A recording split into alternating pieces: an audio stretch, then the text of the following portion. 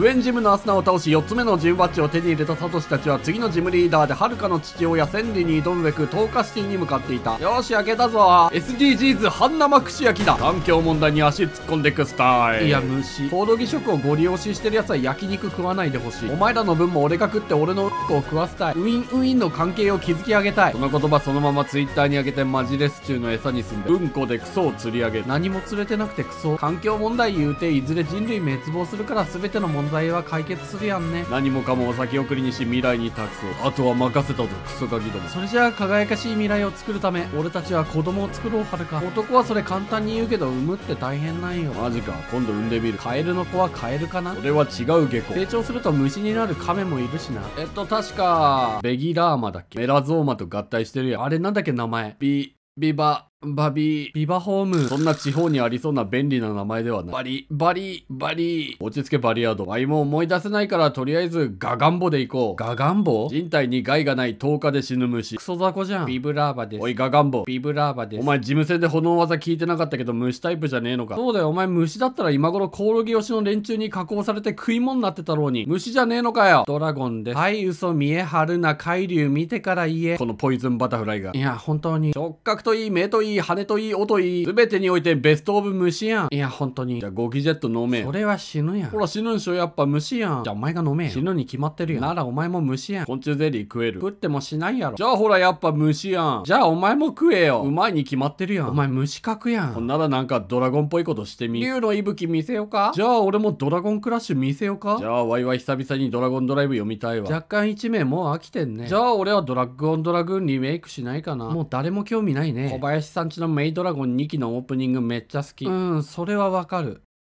あれ何の話してんだっけ？俺の推しの天下話を聞いてくれ。天下って何？ルンバの親戚だ。天下一句繰り返し使ってると摩擦だか握力だかで一部薄くなってくる。消しゴムかい。ちゃんと乾かさないと黒いボツボツができる。だな。なんか新手の性病にかかりそう。そういや、はるかはどんな玩具を使うの？ダイソン？自然な流れでぶっ込んだ割にはダイソンはハードすぎるやろ。ゴツゴツメット、ベリー派。てか、あれ？そういや、ガガンボウだっけ？あいつは？耐えた？いや、寿命早。あ、あれ、あそこ、ナンパしてるかも。短命クソ虫必死で草。無視していこう。